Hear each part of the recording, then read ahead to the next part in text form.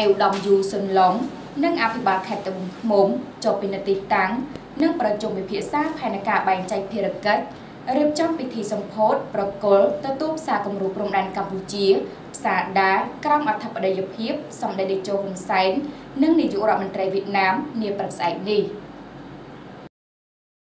នាយឧត្តមសេនីយ៍យូស៊ុនឡុងរដ្ឋមន្ត្រីប្រតិភូអមនាយករដ្ឋមន្ត្រីនិងឯកឧត្តមបណ្ឌិតជាមច័ន្ទសោភ័ណ្ឌអភិបាលនៃគណៈអភិបាលខេត្តត្បូងឃ្មុំព្រមទាំងប្រតិភូអមដំណើរនិងថ្នាក់ដឹកនាំពាក់ព័ន្ធនៅព្រឹកថ្ងៃទី23ខែធ្នូឆ្នាំ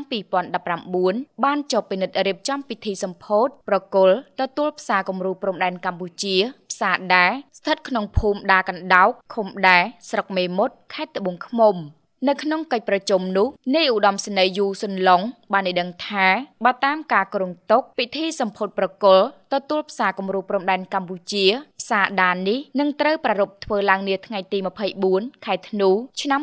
2019ស្អែកនេះក្រោមអធិបតីភាពដ៏ខ្ពង់ខ្ពស់របស់សម្ដេចតេជោហ៊ុនសែននាយករដ្ឋមន្ត្រីនៃកម្ពុជា និងលោកហ្វៀនស៊ុនហ្វុកនាយករដ្ឋមន្ត្រីនៃសាធារណរដ្ឋសង្គមនិយមវៀតណាម ដូច្នេះពាក់ព័ន្ធការងាររៀបចំពិធីការនិងសន្តិសុខសวัสดิភាពសន្តិភាពក្នុងអង្គពិធីទាំងមូលត្រូវរៀបលក្ខណៈទទួលភ្ញៀវកិត្តិយសជាតិអន្តរជាតិនិងប្រជាពលរដ្ឋចំនួនប្រមាណ8000នាក់ ក្នុងដំណើរចោះត្រួតពិនិត្យទីតាំងនោះដែរក៏មានកិច្ចប្រជុំពិភាក្សាពីផែនការបែងចែកភារកិច្ចលម្អិតនៃការទទួលខុសត្រូវក្នុងដំណើរការពិធីសម្ពោធពីសំណាក់គណៈកម្មការរៀបចំបុណ្យជាតិអាជ្ញាធរខេត្តព្រមទាំងផ្នែកពាក់ព័ន្ធដើម្បីធ្វើយ៉ាងណាឲ្យការប្រព្រឹត្តទៅធានាបានសន្តិសុខសណ្ដាប់ធ្នាប់ជូនថ្នាក់ដឹកនាំក៏ដូចជាអង្គពិធីទាំងមូលប្រកបដោយភាពរលូននិងជោគជ័យ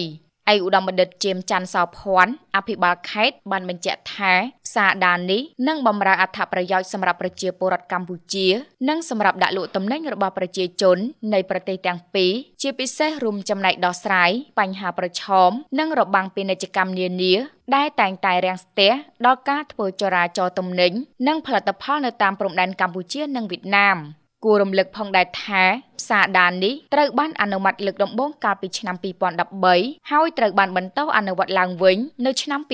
2016នៅលើផ្ទៃដី19628ម៉ែត្រការ៉េស្ថិតក្នុងតំបន់សេដ្ឋកិច្ចពិសេសត្បូងឃ្មុំជាមួយទុនវិនិយោគសរុបចំនួន44761លាន411,000វៀតណាមដុងឬប្រមាណ7.2លានដុល្លារអាមេរិកដែលជាជំនួយរបស់រដ្ឋាភិបាលវៀតណាម។